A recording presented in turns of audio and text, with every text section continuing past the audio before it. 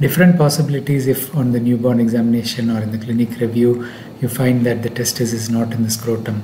It could be an undescended testis, which is the commonest scenario in the neonatal uh, postnatal checkups. And this is a classic cryptorchidism, which can be unilateral or bilateral. There can be true undescended testis, uh, where the testis which is not felt is actually higher up in the descent pathway, or it may be an absent testis because the testis was lost due to a vascular insult in utero. Uh, this happens less frequently, thankfully. Uh, ectopic testis is where the testis is formed in the normal place, but as part of the descent, it loses track and it migrates elsewhere. And uh, we have retractile testis where the cremasteric reflex, the cremasteric muscle contraction is very active. So the testis comes down to the scrotum, but it starts getting pulled up uh, due to certain stimuli, cold, and so on. And uh, it's very important to examine in appropriate posture